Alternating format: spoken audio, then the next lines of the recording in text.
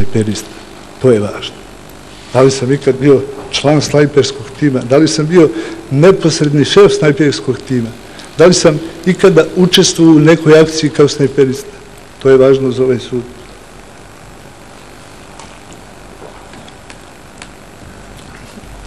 O tome bi morao da postoji neki trag.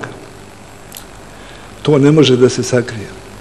To bi moralo da se zna da je Zvezdan Jovanović snajperista, da je u nekoj akciji imao, nemao a, uspeha ili tako da, da je dužio snajperske puške, kao što se za, za to zna da je zoljač. To bi moralo da se zna.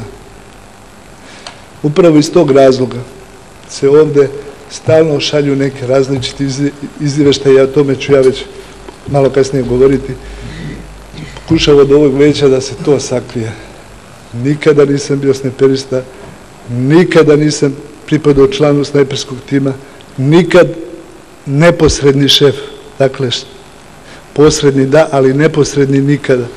Nikada nisam učestvovao u snajperskoj, u bilo kojoj akciji kao snajperista i nikada nisam imao, dakle, samim tim ni pucanje na čoveka i snajpera.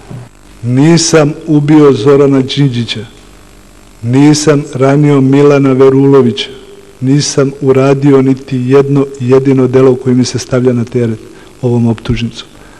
Ovaj